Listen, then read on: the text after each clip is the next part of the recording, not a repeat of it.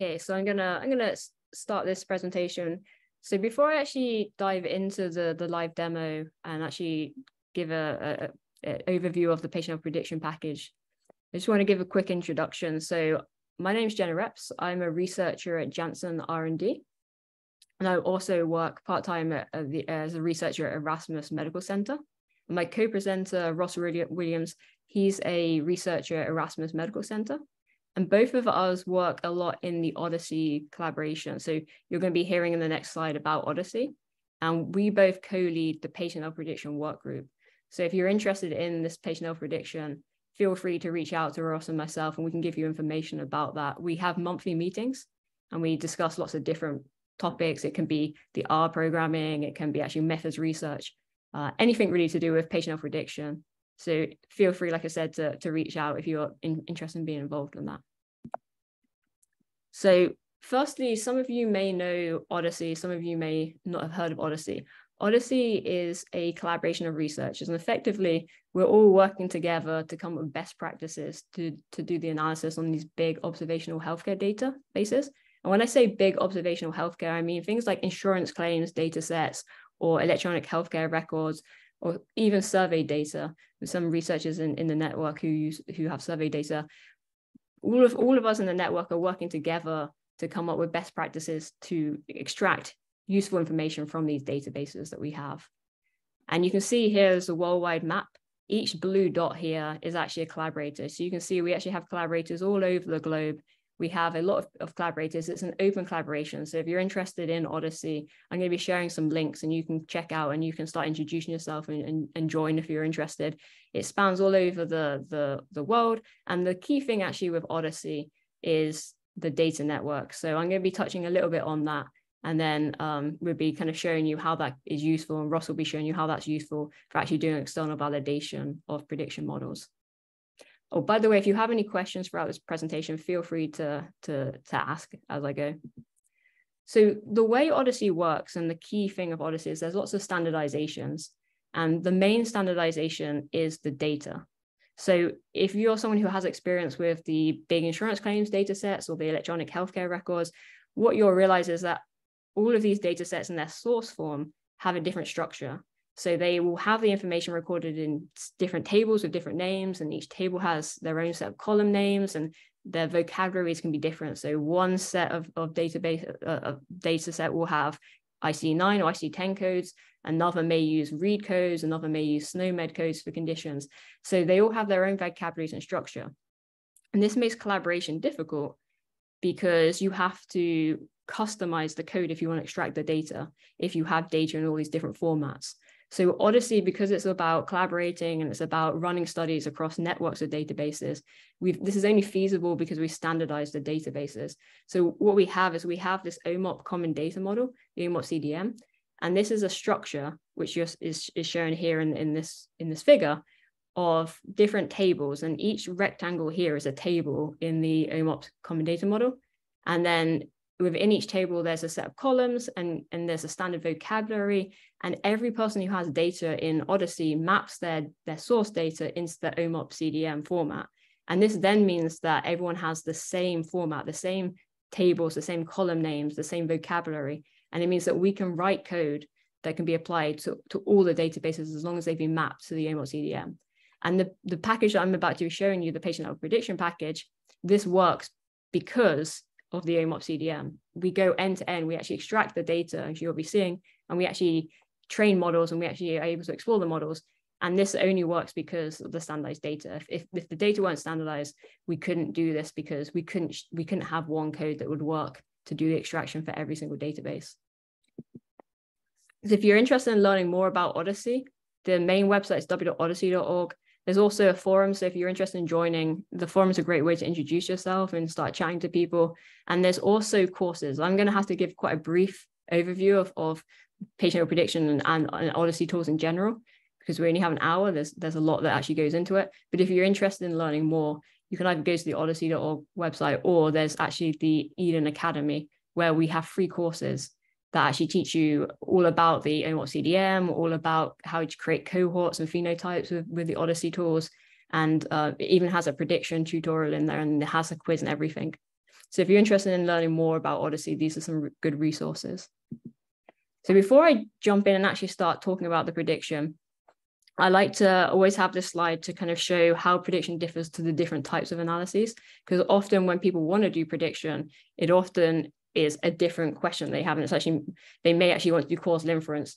Prediction in general, for, and especially the package we're doing, it's not doing any causal inference. So if your question is a causal question, then you can use OHDSI and there's tools for that, and you can use the OHDSI network, but that would be population level effect estimation tool rather than the patient level prediction. And OHDSI also has a characterization uh, package and tools as well. So characterization is what happens to them. So what are the comorbidities for a set of people, what age and, and gender distribution do they have for a set of people? Like for example, you could look at people who have diabetes and in the data and, and have descriptions about them. Population level effect estimation is looking at the causal effect Prediction, on the other hand, is saying, okay, at this point in time, what is my risk of having some future event? So if that's the sort of question you want, then prediction is what you want to use. And that's what I'm going to be talking about how you can actually do that with the package that OHDSI's developed. Now we have a framework for doing the prediction. It was published in JMIR in 2017. So if you're interested in, in, in reading more, but I'm going to be going through most of the parts of this framework in the next few slides. So this is just if you want to if, if you're excited by this presentation you want to read more about it then this is a great resource just to see the original kind of framework that we we based our, the R package on.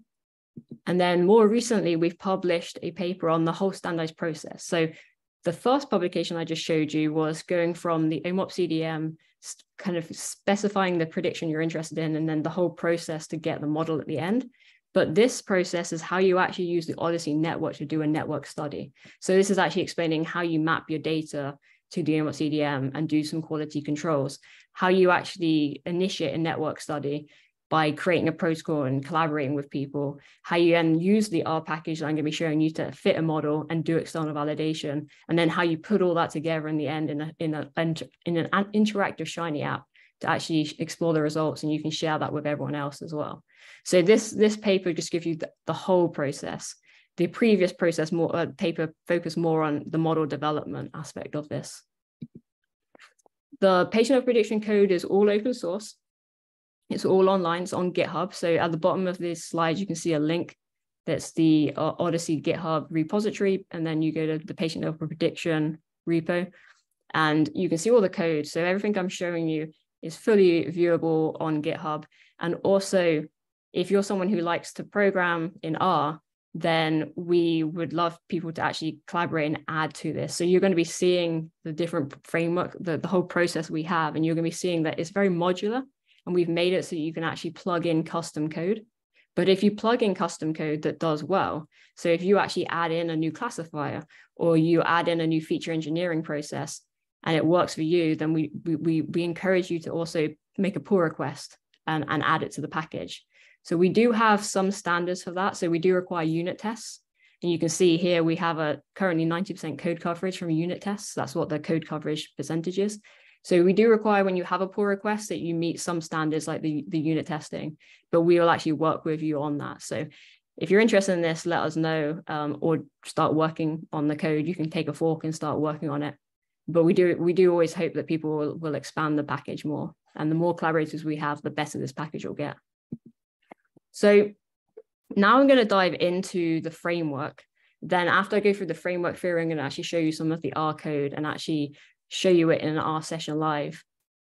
But the what we realized when we were developing the framework originally is that there was a lot of prediction being done and published where it was kind of unclear completely what they were doing. So it may be that they would say the target population, but they weren't really clearly defining how they were identifying the target population in their data, or they may not have been clearly identifying when the prediction is, is, is usable.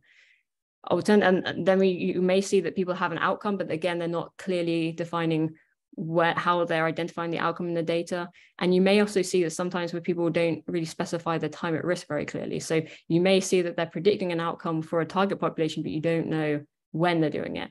So we realized that to make a, a, a prediction very transparent and make it clear what you're doing, we wanted to decompose the prediction task into three components your target population, who it is you're doing the prediction for and when, your outcome, what you're predicting, and your time at risk when you're predicting the outcome relative to the target population start.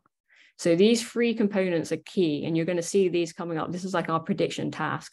These are going to come up a lot, and these are the three things that you need when you want to do the patient level prediction. And then our PLP, our patient level prediction, our package follows a cohort design. So it uses these three components in this cohort design where you're going to be doing the cohort design for your target population patients. And then T0 is the index date for your target cohort. So when the patients satisfy that criteria to get them into the target population, that's T0. And then you're going to be looking into the future uh, during your time at risk, some time at risk period that you need to specify to see whether they had the outcome or not.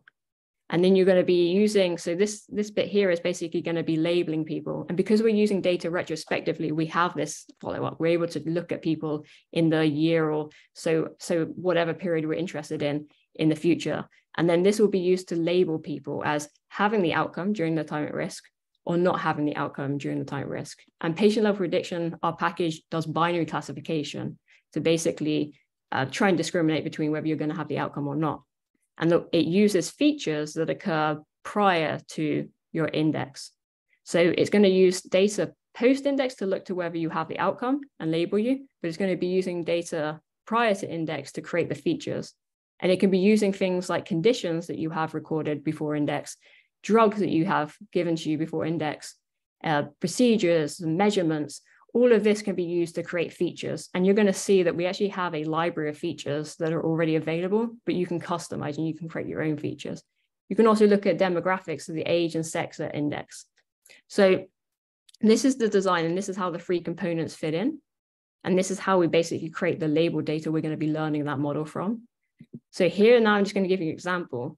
Your target population could be, for example, a new user of lisinopril. So what you're going to do is you're going to find all the people in your database who have lisinopril. You're going to be looking at the first time they have lisinopril, and that's going to be your T equals zero. And then you can use anything prior to this first lisinopril that's recorded for the patients to create features to describe that patient. And you can look at their age when they have the first lisinopril, and you can look at their sex. And then you're going to say, okay, now I'm going to look at what, what happened in, for example, in this case, we're going to do a prediction one day to 365 days after index our time at risk is, is one day to 365 days. So it's very important to specify the start. Often people say a one year follow up and or one year time at risk, but they don't specify whether time zero is included or not. So this is something that we kind of stress that you need to specify the start and the end of your time at risk. So that's clear. And then you're going to look in the one day after your index up to 365 days after the T equals zero. Did you have angioedema? Yes or no? So that's our outcome. And then we can use this to create the, the, the, the label data. So features using anything prior to index and creating the label of whether you had the outcome or not after index. And I'm going to be using this demo for the rest of the presentation. So you're going to be seeing us actually fit models for this task. So the patient level prediction has this standardized process. You specify your task, your target cohort, your outcome, your time at risk. You need data mapped to the OMOP CDM and it could be any any observational data set mapped to the CDM. And then the whole process that we have is firstly to extract the data to give us label data to learn from. Then we're going to be splitting the data into test and train set sets. Then we're going to be doing some pre-processing of the data. Then we're going to fit the model. And then finally, we're going to then apply the model to the test data to see how well it does internally and evaluate it. So this is the general framework we have for developing model. But Ross is actually going to be showing you we can then actually take this model and actually apply it to new data in the CDM pretty readily. And we can do external validation at scale. And we can do that on data sets all over the world because the OHDSI network is, is it's pretty expansive and it goes all over the, the world. So now I'm going to be showing you this step-by-step -step example. So I'm going to be looking at these new users of lisinopril. I'm going to be looking at an outcome of angioedema, and I'm going to be looking at the time risk of one day from the start of lisinopril up to 365 days after the start of lisinopril to be predicting this angioedema. So we're going to use this cohort design that I previously showed you. And this is what the PLP package does. So you do need some setup. So if you're going to be using patient prediction, you need to have Java installed. The reason you have to have Java is because within R, we're going to be communicating with the database, your OMOP Common Data Model database to actually extract the data. And we use a JDBC connection. So we use Java to connect to that database. So you have to have Java installed on your computer, and you obviously have to have R because it's an R package. We recommend using RStudio, and you're going to be seeing that I use RStudio um, when I actually run, run this code later. And then some parts of the package will require Python. So depending on, on what you want to do with the package, you may need Python installed. The reason we have Python is that some of the classifiers like the uh, random forest and the AdaBoost boost and the neural network, um, when I was like testing some of the, the, the classifiers many years ago, they were faster in Python. So we ended up using Python backend for some of the classifiers just because they were more efficient. And we use Reticulate to, to communicate with Python. So if to if you want to install the basic patient level prediction, then this will have lasso logistic regression. So a re, lasso, logistic regression with lasso regularization and also have gradient boosting machine.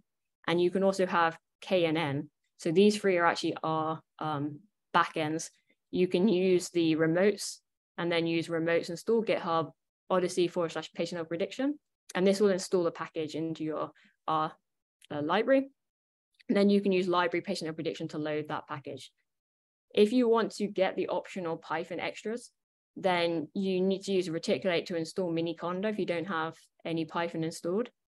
And then you can use in patient level prediction, there is a function called configure Python that will create basically an environment um, and, and it will install all of the, the R Reticulate actually is the default environment for Reticulate. So it actually just installs it into the R Reticulate in this example, but it will install all of the Python dependencies into your Conda environment in this in this example here, or into your Python environment if you're using Python. So we have functions that make it easy to, to configure the Python if you do want to use that, but it's optional. And also if you want to contribute, if you wanted to add new classifiers and they are in, and you want to have Python code, then you can use a similar process that we've got and you would just add in the dependencies you need for Python into this function in the pull request. So the first thing you need to do is specify your target population and the index when when when people actually in the database match and enter the target cohort. So we're we're going to show you an example in using Atlas. So Atlas is a, a website which you can see this link here. It's a website for the public Atlas. You can get it installed in locally on, on, on yourself on your own computer if you wanted, or but it takes a bit of technical requirements. So it may be better if you're playing around patient level prediction for uh, to begin with to actually just use the public atlas. And so you just go to this link. Atlas is is is is quite extensive. It's got a lot in there. So um, you can create phenotypes and you can create definitions that will uh, and it will create the SQL to, to execute that in your OMOP CDM database for you. So this is a way of basically identifying people in your target population or people who have the outcome without writing SQL. Um, the, the Atlas will write it for you. And this is why I'm showing you in this ex example using Atlas, although you can actually write your own SQL if you know how to use SQL.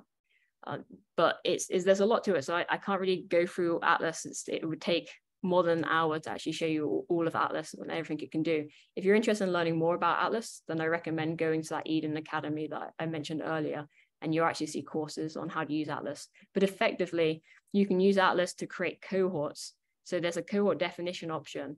And in there, you can specify logic of how you're actually going to identify the target population in your data. So here I'm saying I want a drug exposure of lisinopril, and it has to be the first time. So I'm going to look at every time that they have lisinopril recorded. I'm going to then restrict to the first date for each person. And then I'm also going to require that they have a 365 days prior observation. So this means that they have to be in the database for at least 365 days prior to index, because I'm going to be using that time prior to index to create the features. And I'm also going to restrict to people who have hypertension. So I want people who have lisinopril for hypertension. And this, I can create this in Atlas and it's basically going to generate the SQL. And I'm going to be using this in R in, in a bit when you'll see me actually running the code.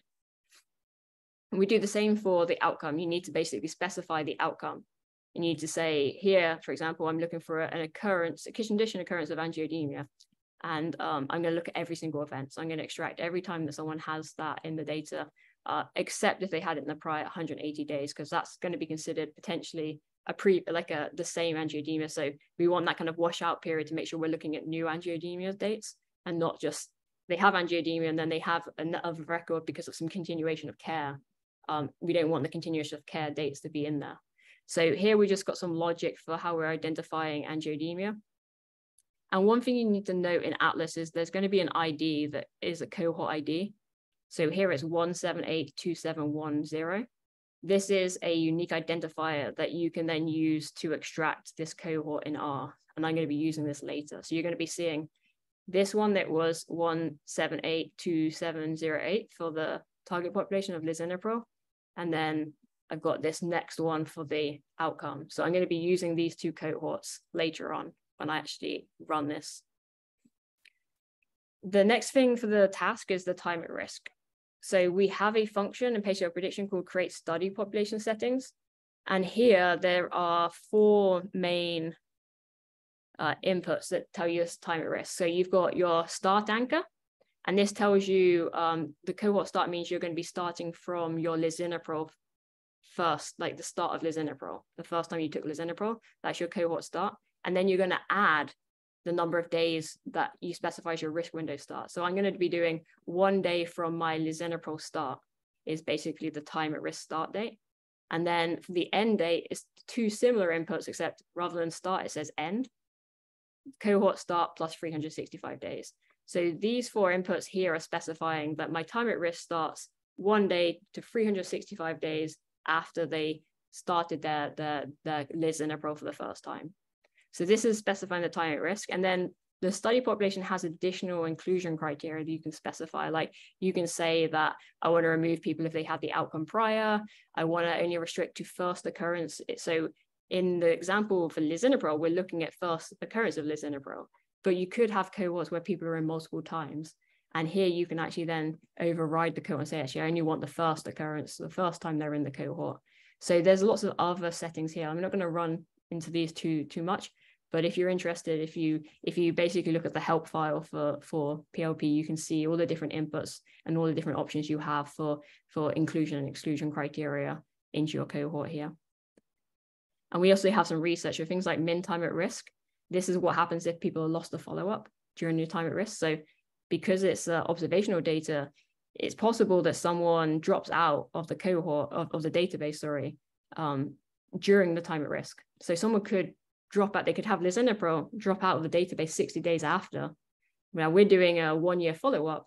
So how do you, what do you do with that person who drops out? Um, and we actually have research. We, we, we, we've done quite a bit of research to look at the impacts of this and actually guide some of these choices. So if you go to the patient level prediction package on GitHub, you can go to the website. You actually will see some of the resources we have as well for guiding you for some of these choices. So that's the task, the T target cohort, the outcome, and the time at risk specified. The next thing you need to do is now actually specify what what how do you actually want to do the process of fitting the model. So the first thing is you've got your target cohort outcome type risk specified, you've got your data mapped in your CDM. You need to extract that data into a labeled data to learn from. But that requires specifying what features you want to use.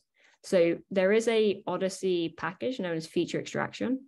And there is a function in there, create covariate settings, that you can use to select default covariates. So these are things that basically it's, it's, it's, in our library. So we have a library of covariates that you can select from. And I've picked to use sex, age and groups, five-year bins, uh, conditions and drugs that occur in a, a 365 days within 365 days of index.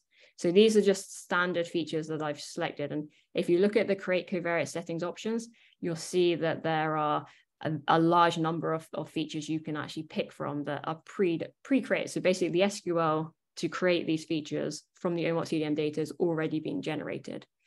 But if you wanted a, a, custom feature, you can write that. So we this has all been done in a way. PLP, the patient prediction package, is being created to, to make it very flexible. So you can pick from a library if you don't really want to have to do extra coding.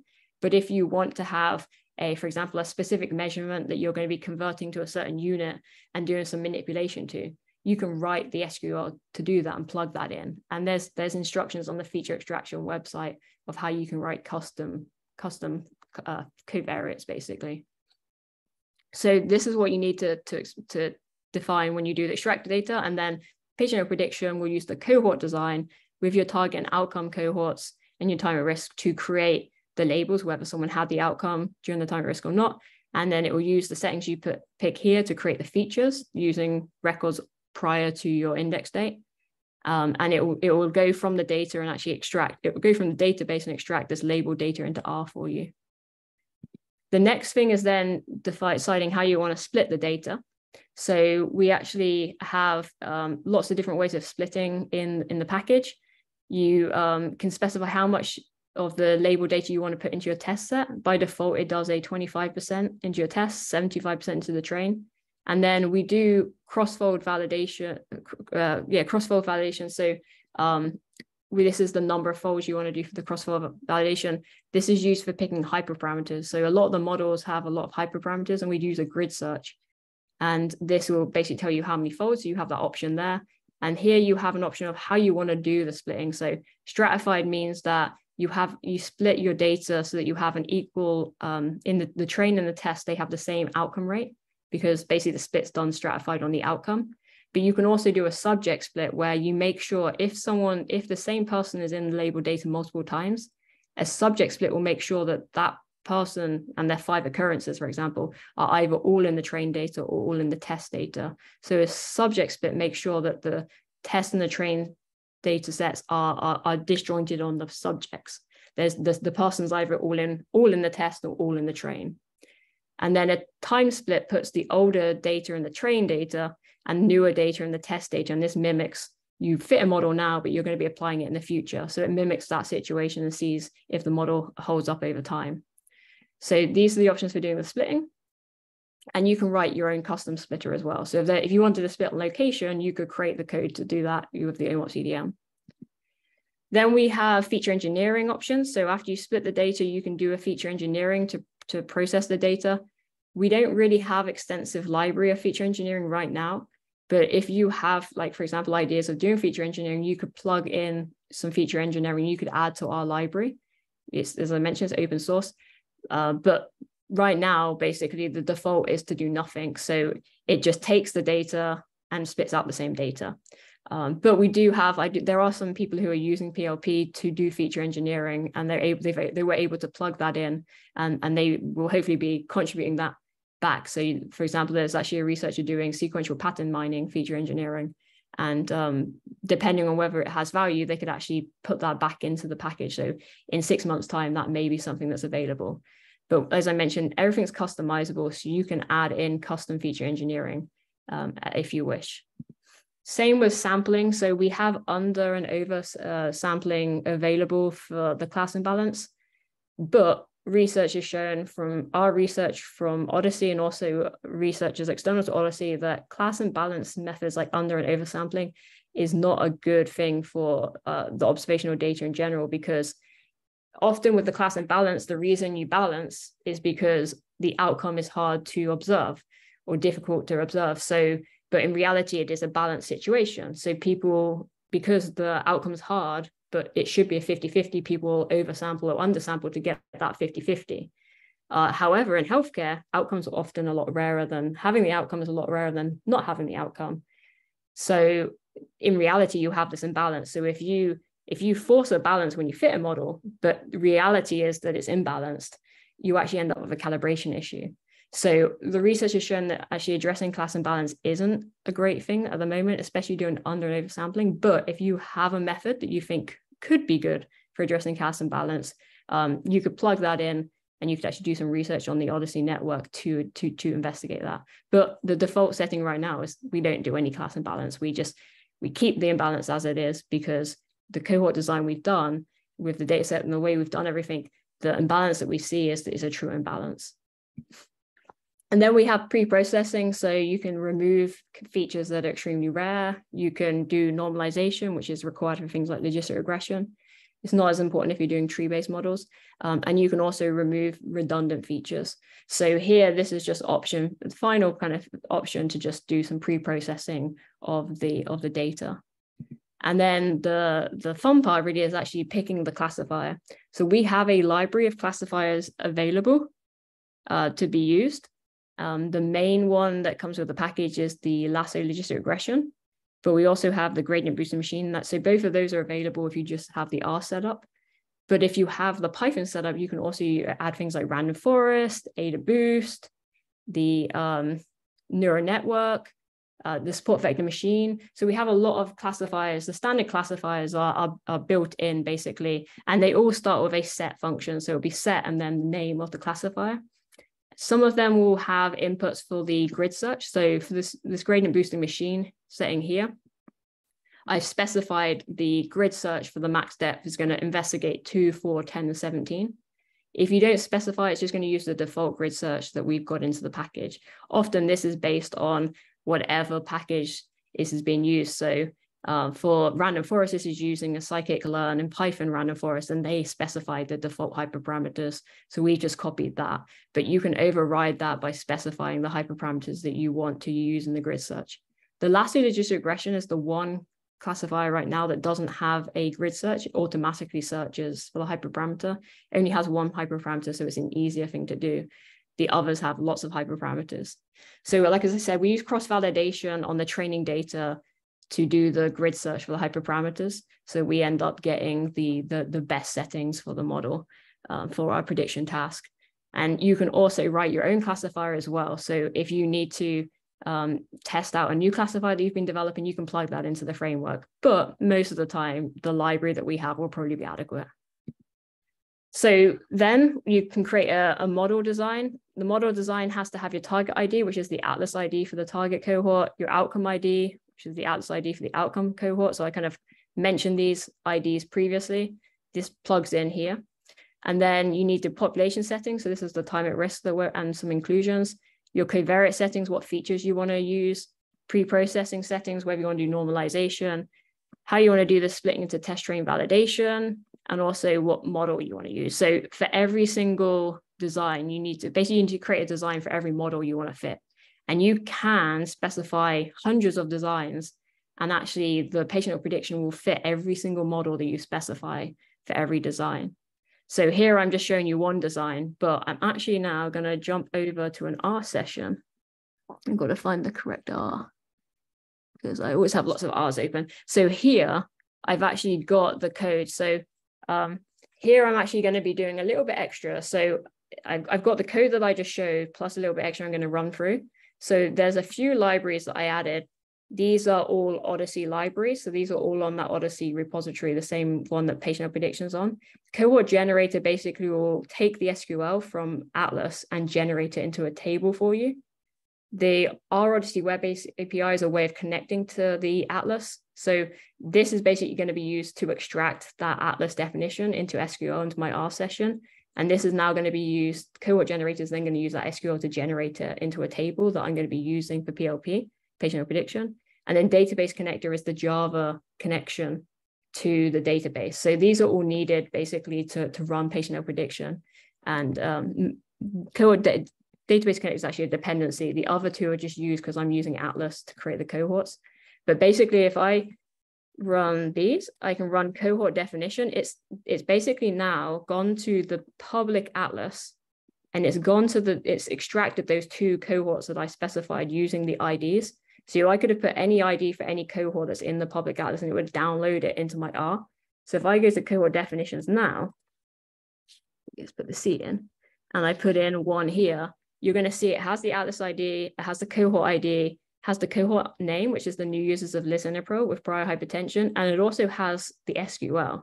So this has all the SQL I need to execute on an OMOP common database model database um, to actually generate the and find the people who have lisinopril in their database and when they had lisinopril for the first time.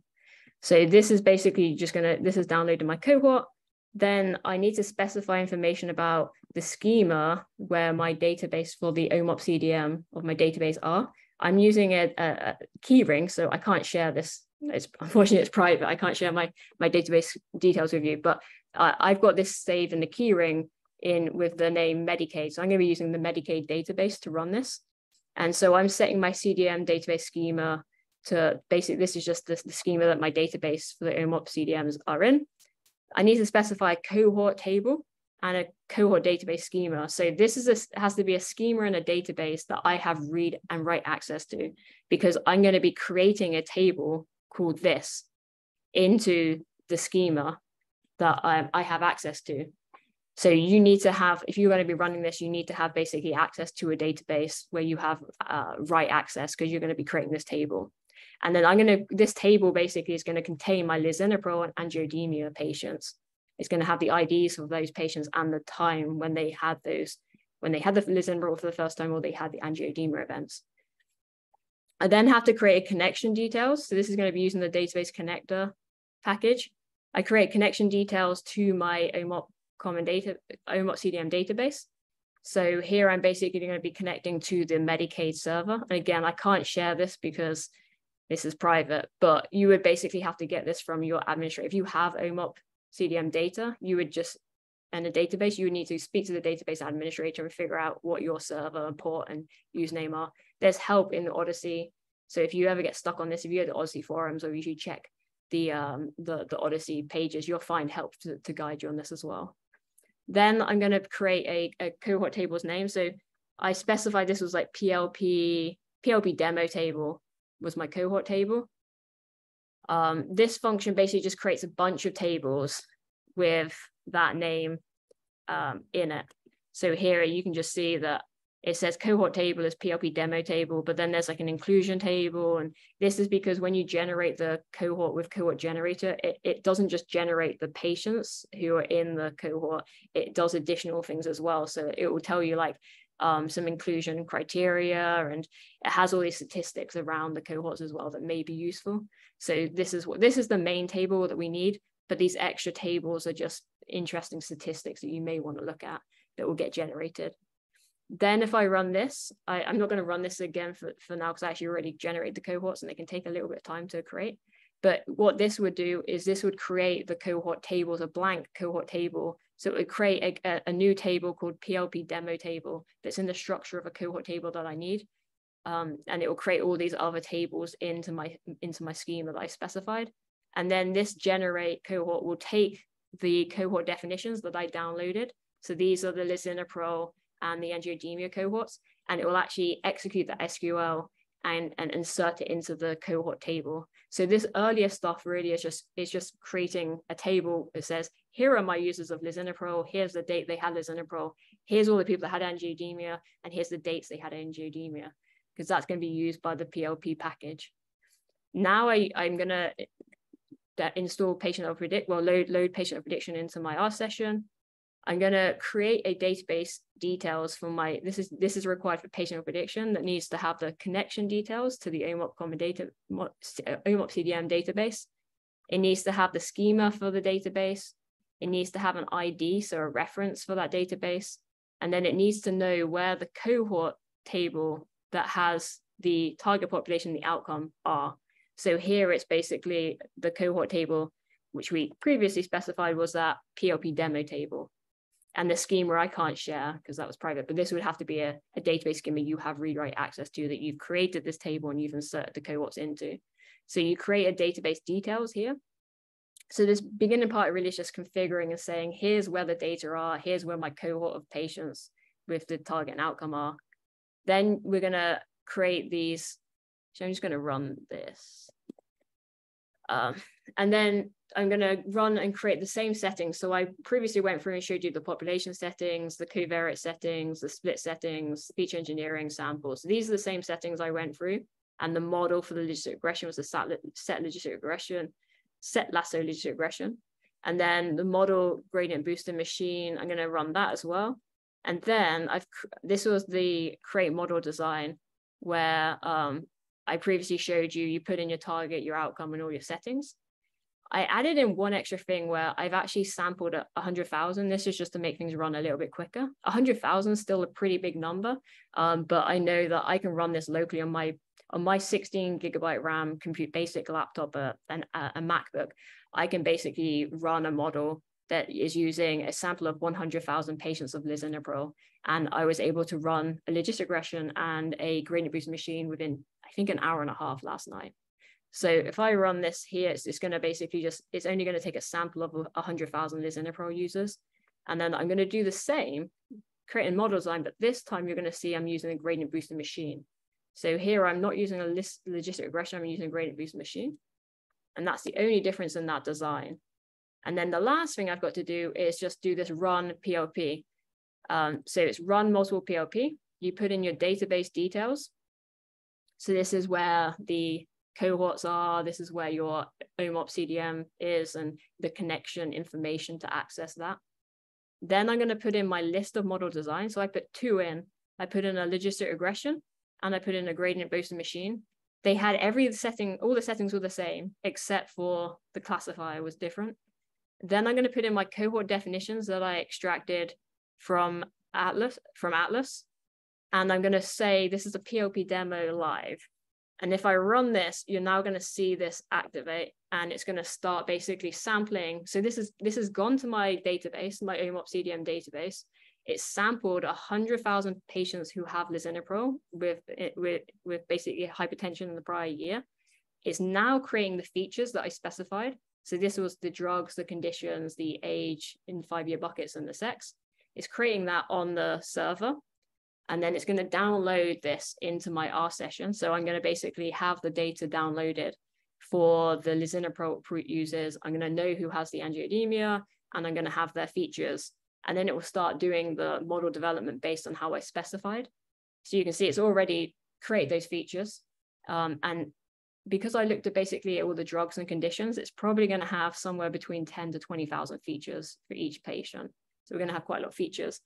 And then um, I'm just going to show you, this is the PLP demo. I ran this last night. So this was the analysis one.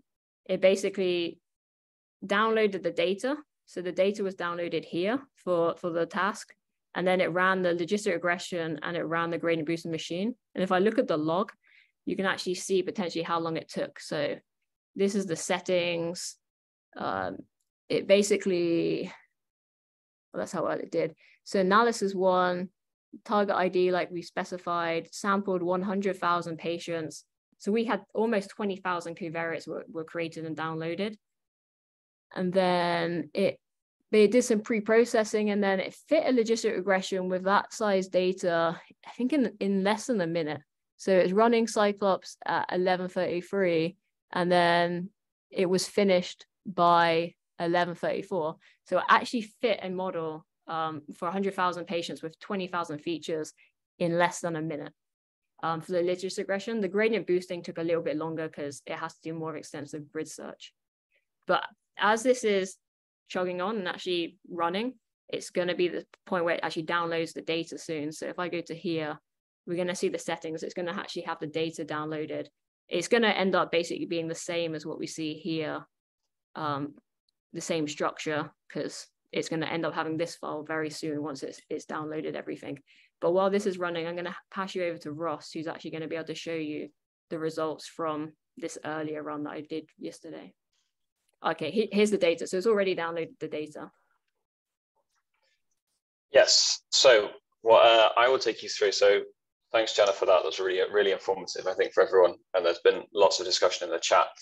So Jenna actually, after running the models, uh, she then shared all of the uh, she shared the results and shared the data that uh, it created. Um, and so this is quite you know hot off the presses. But she's then sent me uh, an SQLite database that I can then load into um, a Shiny viewer. So this is something that comes within the patient level prediction package. So what we'll do is I'll just just source this.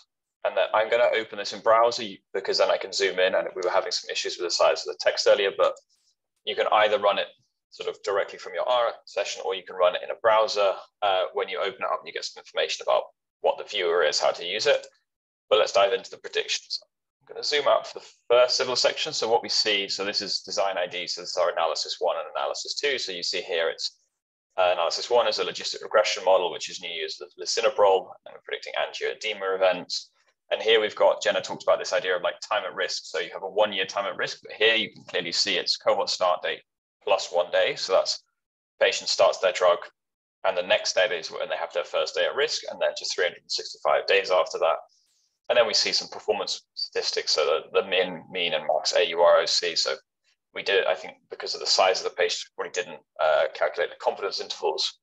Um, but what we also have in the Shiny app is ability to explore the results. So in PLP, what we've done recently is set up some diagnostics. So this is basically to say, you know, do we think that you should look at this? This is uh, where appropriate data sources used. So here we've passed this diagnostic, and there's a couple on um,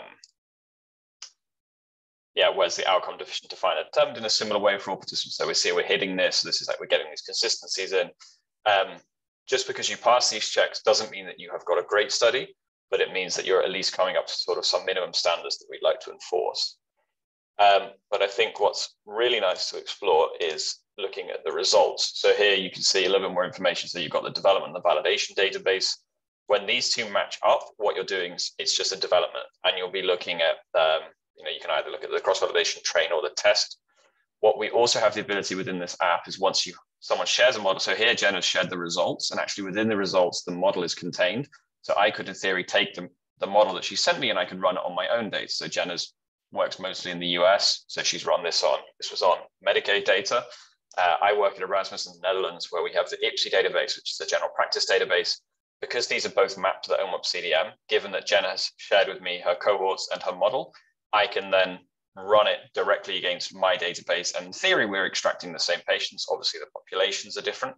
But other than that, everything should be the same. So we should get a really direct comparison. This is coming to this idea of external validation, which I'll go on to talk a little bit about uh, in a couple of minutes.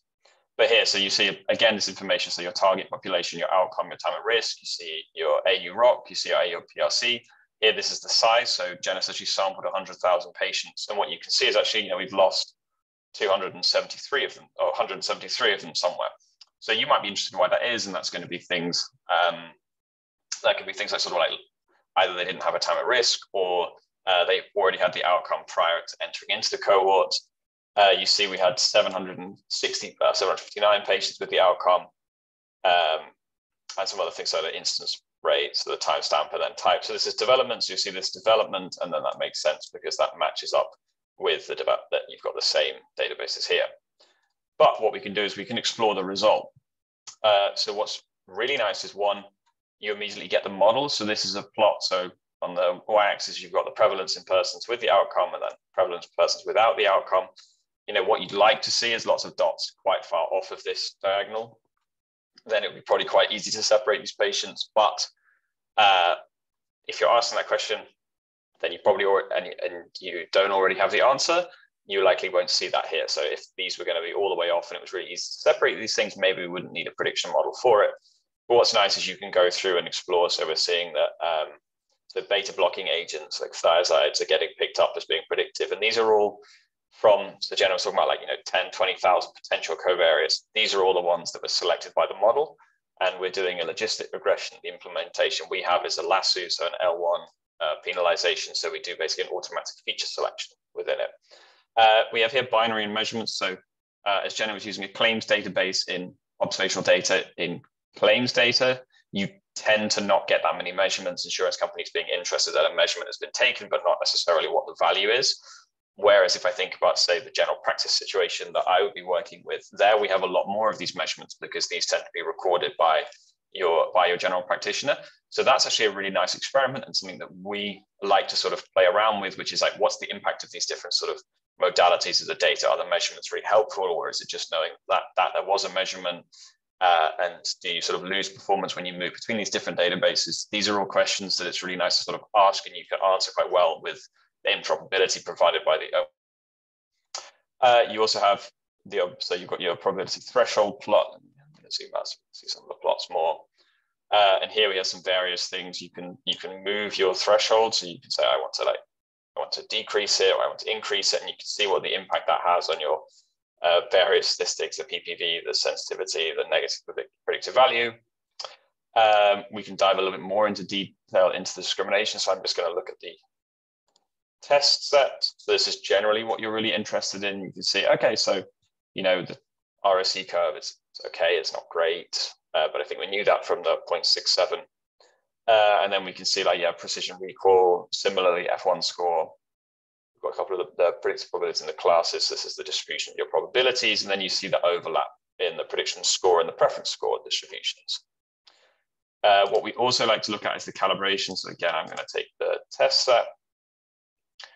Uh, these can take a little bit more time to load. And here you see, so what we've got here is it's a, it's a smooth loess curve. And you can see, yeah, I think the calibration here is sort of probably like quite reasonable. And you can see that because of this class imbalance, we're getting way more sort of no outcomes than outcomes. Uh, we like these flexible curves a little bit more than either sort of like a rigid line because it allows you to see, okay, so down in this area, we seem to be really well calibrated, whereas here it gets a little bit worse.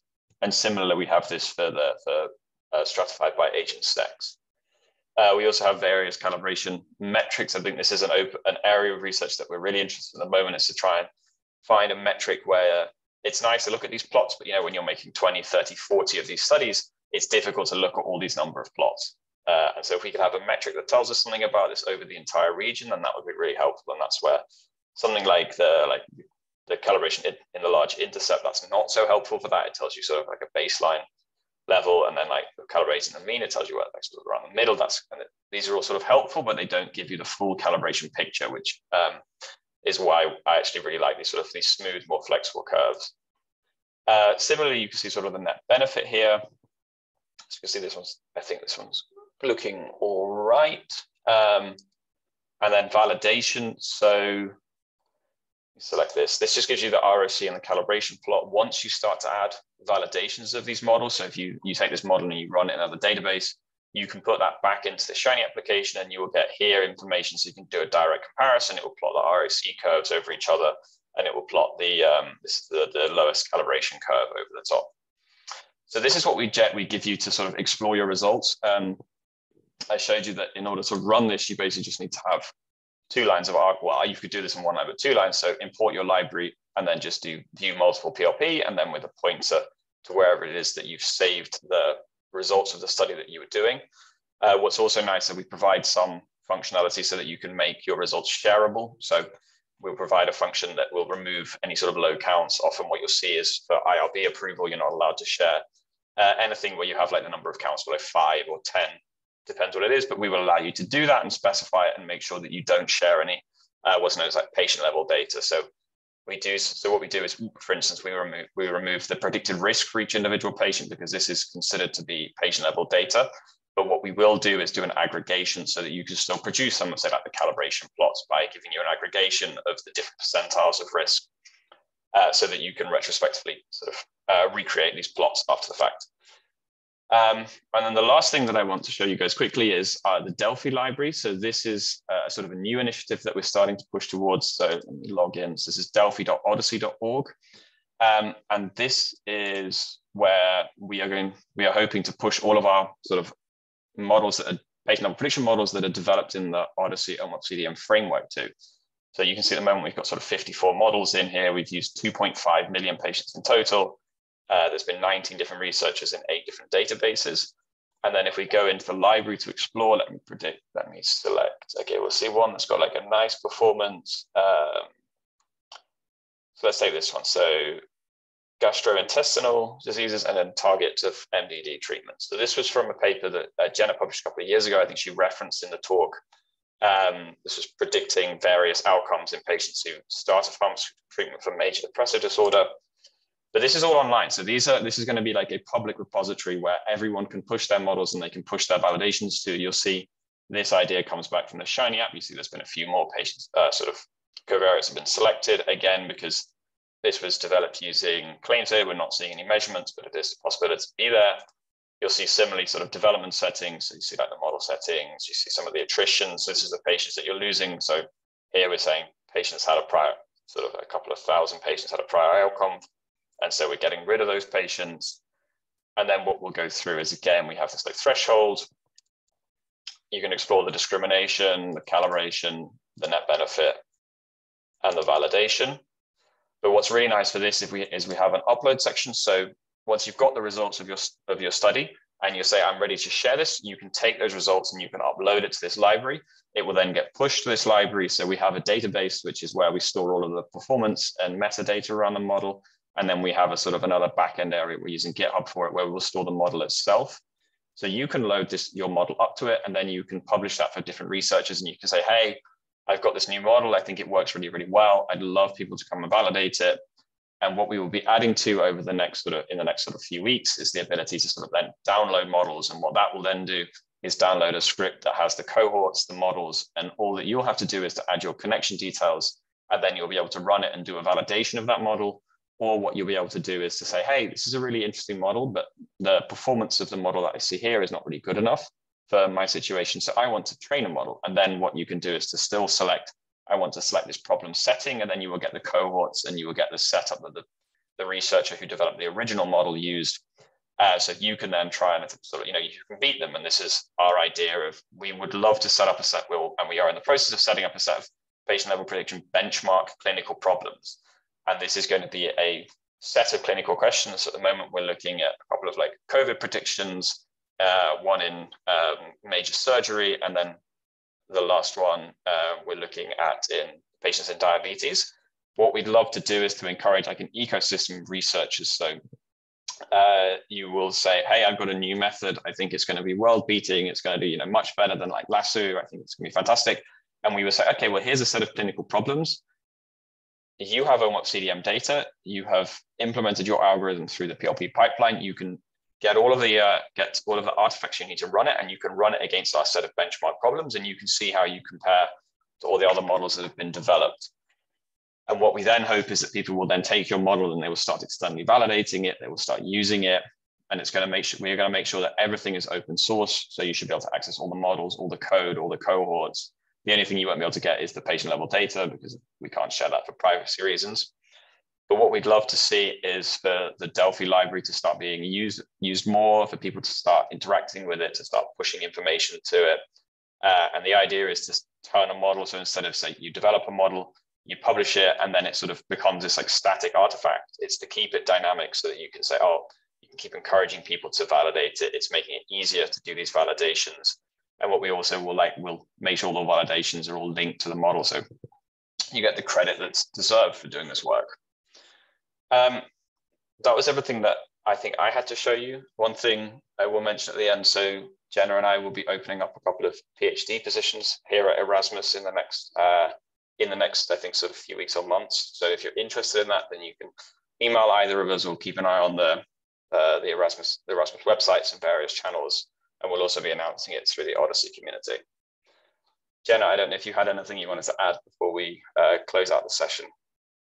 Yeah, no, thanks for the the great demo, Ross. So I added my email uh, address in case you you want to email me for any questions because we kind of we don't really have time for questions. I guess we have question time for maybe one question, but if anyone has any other questions, feel free to email um, or post on the OHDSI forums, and I'll keep an eye out on that. But if anyone has any any question, we have have we have one minute until you break for lunch.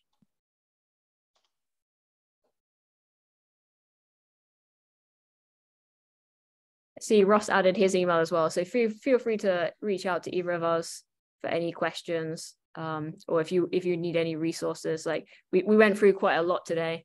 So um we're, we're happy to show you more resources as well, like the resources to kind of explain some of the, the tools we showed in more detail. Yeah. Thanks for listening, everyone. Thanks a lot, everyone. Bye-bye.